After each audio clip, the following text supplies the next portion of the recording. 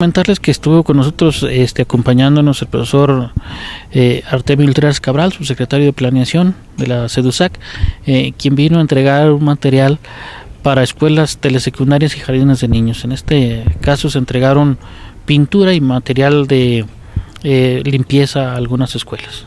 Este, ¿Cuánto el monto y, cuáles escuelas serían las? Fueron seis escuelas telesecundarias con pintura del programa Escuelas en Movimiento.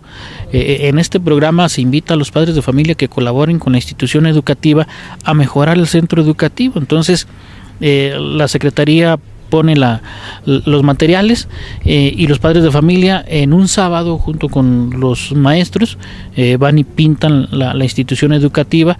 Eh, solamente lo único que se les pide, su apoyo en, en la colaboración de pintar la, la escuela y, la, y la CEDUSAC regala la pintura a la institución. ¿En, estos, ¿En, este tipo de trabajos también pueden participar los alumnos?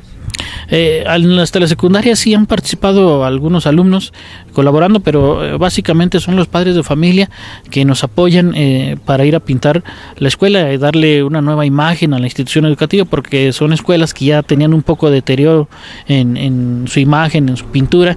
Entonces, eh, con este programa que se bajó, eh, se entregaron más de 30 latas de pintura aquí en Frenillo en estas escuelas telesecundarias pero también decirle que se entregó material preventivo a, a, preescolar que ya tenía tiempo que no se le entregaba eh, material preventivo y, y, se estuvo entregando a, la, a las diferentes zonas educativas de preescolar.